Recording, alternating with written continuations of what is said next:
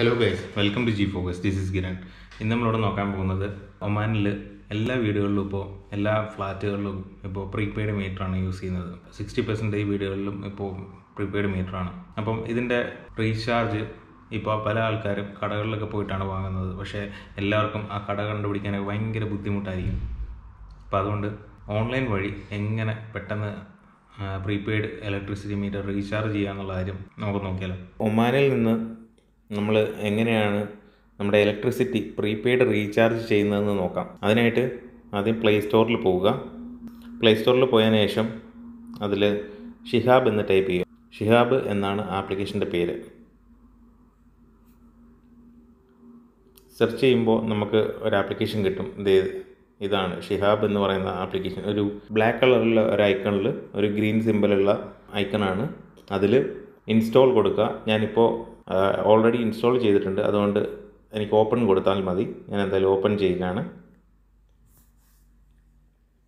Open ചെയ്തതിന് ശേഷം നമ്മൾ ക്രിയേറ്റ് അക്കൗണ്ട് കൊടുക്കേണ്ടതായിട്ടുണ്ട്. ക്രിയേറ്റ് അക്കൗണ്ട് കൊടുത്തതിന് ശേഷം അതിൽ first name second name last name nick name കൊടുക്കുക അതിനുശേഷം നെക്സ്റ്റ് കൊടുക്കുക. നെക്സ്റ്റ് കൊടുക്കുമ്പോൾ നെക്സ്റ്റ് കൊടുക്കുമ്പോൾ അതിൽ ഡേറ്റ് ഓഫ് ബർത്ത് കൊടുക്കും. അതിനുശേഷം നമ്മുടെ ഫോൺ നമ്പർ കൊടുക്കണം. ഇമെയിൽ അഡ്രസ്സ് കൊടുക്കണം. വെരിഫൈ യുവർ ഇമെയിൽ കൊടുക്കണം. അതിനുശേഷം നെക്സ്റ്റ് കൊടുത്തു കഴിയുമ്പോൾ ലാസ്റ്റ് നമുക്കൊരു ലോഗിൻ യൂസർ നെയിം കൊടുക്കണം. യൂസർ നെയിം നമുക്ക് ഇഷ്ടമുള്ളവരൊന്ന് ടൈപ്പ് ചെയ്യുക അതിനുശേഷം ഒരു പാസ്വേഡും കൊടുക്കുക. അതിനുശേഷം എഗ്രി ടിക്ക് പ്രസ് ചെയ്യാൻ മറക്കരുത്. ദെൻ പ്രൊസീഡ് അപ്പോൾ രണ്ട് പാസ്വേഡും ഒരേപോലെ ആയിരിക്കാൻ ശ്രദ്ധിക്കണം. അങ്ങനെ കൊടുത്തു കഴിയുമ്പോൾ നമ്മുടെ അക്കൗണ്ട് ക്രിയേറ്റ് ആയി. These device is already registered for another account so I sure you want to continue ഞാൻ ഇതിൽ ഓൾറെഡി രജിസ്റ്റർ ചെയ്തിട്ടുണ്ട്. അതുകൊണ്ടാണ് അവരിങ്ങനെ ചോദിക്കുന്നത്. അപ്പോൾ ഞാൻ എന്റെ രജിസ്റ്റർ ചെയ്ത യൂസർ നെയിം പാസ്വേഡ് തന്നെ യൂസ് ചെയ്യാണ്. നിങ്ങൾ ആദ്യമായിട്ട് രജിസ്റ്റർ ചെയ്യുമ്പോൾ ഇങ്ങനെ ഒരു മെസ്സേജ് ചോദിക്കില്ല. അഥവാ രജിസ്റ്റേർഡ് ആണെങ്കിൽ തന്നെ നമുക്ക് എസ് കൊടുത്തു കഴിഞ്ഞാൽ അക്കൗണ്ട് ക്രിയേറ്റ് ആവും. ഓക്കെ ഞാനിപ്പോൾ നോ കൊടുക്കുകയാണ്. നോ കൊടുത്തതിന് ശേഷം എന്റെ സ്ക്രീനിൽ പോവുക. ഫസ്റ്റ് സ്ക്രീനിൽ പോയി. അതിനുശേഷം എന്റെ യൂസർ നെയിം കൊടുത്തു. അതിനുശേഷം പാസ്വേഡ് കൊടുക്കുകയാണ്. അതിനുശേഷം ലോഗിൻ കൊടുത്തു. ലോഗിൻ കൊടുത്തു കഴിയുമ്പോൾ നമുക്കിങ്ങനെ മുകളിൽ services my wallet history settings കാണും. അതിൽ അതിൽ നമ്മൾക്ക് നമ്മുടെ കൺസ്യൂമർ നമ്പർ അതായത് നമുക്കൊരു സർവീസ് നമ്പർ ഉണ്ടാവും. അത് നമ്മളിതിൽ ആഡ് ചെയ്ത് കൊടുക്കണം. എം ഇ ഡി സി എന്ന് പറയുന്നതിൽ ഒരു പെൻസിലിന്റെ സിമ്പിൾ ഉണ്ട് കേട്ടോ. അതിൽ ക്ലിക്ക് ചെയ്യുക. ക്ലിക്ക് ചെയ്യുമ്പോൾ നമ്മുടെ പ്രിമൈസസ് നമ്പർ കാണിക്കും. പ്രിമൈസസ് നമ്പർ അടിച്ചിട്ട് നമ്മൾ സേവ് കൊടുക്കുക. പ്രിമൈസസ് നമ്പറിൽ ഇപ്പോൾ നമുക്ക് നയൻ ഡിജിറ്റ്സ് ആണ് കാണിക്കുന്നത്. ഓക്കെ പ്രിമൈസസ് നമ്പർ ഇപ്പോൾ നമ്മൾ ടൈപ്പ് ചെയ്യുക. ടൈപ്പ് ചെയ്തതിന് ശേഷം സേവ് കൊടുക്കുക. സേവ് കൊടുത്തു കഴിയുമ്പോൾ നമ്മുടെ പ്രിമൈസസ് നമ്പർ സേവ് ആയി. അതിനുശേഷം നമ്മൾ ചെയ്യേണ്ടത് മൈ വാലറ്റ് എന്ന് പറയുന്ന ആ ടാബ് എടുക്കുക. അതിൽ നമുക്കൊരു വാലറ്റ് നമ്പർ കാണിക്കുന്നുണ്ട്. ബാലൻസ് സീറോ ആണ് കാണിക്കുന്നത്. അത് സീറോ മാറ്റുന്നതിന് വേണ്ടിയിട്ട്. മീൻസ് നമുക്ക് നമ്മുടെ വാലറ്റ് ഫില്ല് ചെയ്യുന്നതിന് വേണ്ടിയിട്ട്. ഫില്ല് ചെയ്താൽ മാത്രമേ നമുക്ക് റീചാർജ് ചെയ്യാൻ സാധിക്കുകയുള്ളൂ. അപ്പോൾ നമ്മൾ ഡെബിറ്റ് ആൻഡ് ക്രെഡിറ്റ് കാർഡ് എന്ന് പറയുന്ന ആ ഗ്രീൻ കളർ ബട്ടണിൽ ക്ലിക്ക് ചെയ്യുക. ക്ലിക്ക് ചെയ്യുമ്പോൾ നമുക്ക് എത്രയാണോ ചാർജ് ചെയ്യേണ്ടത് ആ എമൗണ്ട് നമ്മൾ ടൈപ്പ് ചെയ്യുക. ടൈപ്പ് ചെയ്തതിന് ശേഷം താഴെ A T M card or credit card എന്ന് കൊടുത്തിട്ടുണ്ട്. അപ്പോൾ നമ്മൾ എ ടി എം കാർഡാണ് സെലക്ട് ചെയ്യാൻ പോകുന്നത്. സെലക്ട് ചെയ്തതിന് ശേഷം ചാർജ് വാലറ്റ് കൊടുക്കുക. ചാർജ് വോലറ്റ് കൊടുത്തു കഴിയുമ്പോൾ പേയ്മെന്റ് ഗേറ്റ് വേയിലേക്ക് ഇത് ട്രാൻസ്ഫർ ചെയ്യും. ട്രാൻസ്ഫർ ചെയ്യുമ്പോൾ അതിൽ നമ്മൾ കുറച്ച് ഡീറ്റെയിൽസ് കൊടുക്കേണ്ടതായിട്ടുണ്ട്. അതിൽ ഡെബിറ്റ് കാർഡ് നമ്പർ കൊടുക്കണം. എക്സ്പയറി ഡേറ്റ് കൊടുക്കണം. കാർഡ് ഹോൾഡർ നെയിം കൊടുക്കണം. സെക്യൂരിറ്റി കോഡ് കൊടുക്കണം. സെക്യൂരിറ്റി കോഡ് നമ്മുടെ എ ടി എം കാർഡിന്റെ ബാക്ക് സൈഡിലുള്ള മൂന്ന് ഡിജിറ്റ് നമ്പറാണ്.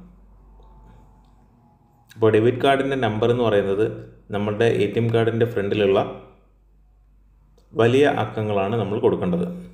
അതിനുശേഷം എക്സ്പയറി ഡേറ്റ് കൊടുക്കുക. എ ടി എം കാർഡിന്റെ എക്സ്പയറി ഡേറ്റ് അതിൽ നമ്മുടെ എ ടി എമ്മിന്റെ ഫ്രണ്ടിൽ എഴുതിയിട്ടുണ്ടാവും. വാലിഡ് ത്രൂ എന്ന് എഴുതിയിട്ടുണ്ടാവും. അപ്പോൾ നമ്മൾ അത് കൊടുക്കുക. അല്ലെന്നുണ്ടെങ്കിൽ എക്സ്പയറി എന്ന് കൊടുത്തിട്ടുണ്ട്. എക്സ്പയറി എന്ന് കൊടുത്തിട്ടുണ്ടാവും. എക്സ്പയറി എന്ന് കൊടുത്തിട്ടുണ്ടാവും. അത് കൊടുക്കുക. ആ ഡേറ്റ് കൊടുക്കുക. കാർഡ് ഹോൾഡർ നെയിം കൊടുക്കുക. നമ്മുടെ എ ടി എന്താണ് പേരുള്ളത് അത് കൊടുക്കുക. അല്ലെങ്കിൽ കാർഡ് ഹോൾഡറിന്റെ പേര് കൊടുക്കുക. കാർഡ് ഹോൾഡറിന്റെ പേരും ഇതിൽ നമ്മൾ കൊടുക്കേണ്ടതാണ്. കാർഡ് ഹോൾഡറിന്റെ കാർഡ് ഹോൾഡറിന്റെ പേര് നമ്മളിതിൽ കൊടുക്കേണ്ടതാണ്. അതായത് നമ്മുടെ അക്കൗണ്ടിന്റെ പേര് എന്താണോ അത് കൊടുക്കണം. മീൻസ് നിങ്ങളുടെ പേരാണ് കൊടുക്കേണ്ടത്. ഇപ്പോൾ നിങ്ങളുടെ എ ടി എം ആണെന്നുണ്ടെങ്കിൽ നിങ്ങളുടെ പേരാണ് കൊടുക്കേണ്ടത്. ഏറ്റവും ലാസ്റ്റ് നമ്മളുടെ സെക്യൂരിറ്റി കോഡും കൊടുക്കണം. അതിനുശേഷം പ്രൊസീഡ് കൊടുക്കുക. പ്രൊസീഡ് കൊടുത്തു കഴിയുമ്പോൾ നിങ്ങളുടെ ബാങ്കുമായിട്ട് രജിസ്റ്റർ ചെയ്തിട്ടുള്ള മൊബൈലിലേക്ക് ഒരു ഒ ടി പി നമ്പർ വരുന്നതാണ്. ആ ഒ ടി പി നമ്പർ ഇവിടെ നമ്മൾ ടൈപ്പ് ചെയ്ത് കൊടുക്കുക. അതിനുശേഷം പ്രൊസീഡ് കൊടുക്കുക. പ്രൊസീഡ് കൊടുത്തു കഴിയുമ്പോൾ ലാസ്റ്റ് കാണിക്കും your transaction is under processing എന്ന് കാണിക്കും.